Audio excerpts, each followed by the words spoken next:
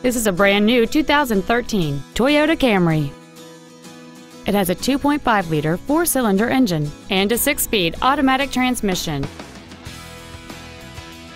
Features include a low tire pressure indicator, traction control and stability control systems, cruise control, a six-speaker audio system, a passenger side vanity mirror, side impact airbags, latch-ready child seat anchors, rear seat child-proof door locks, air conditioning, we invite you to contact us today to learn more about this vehicle.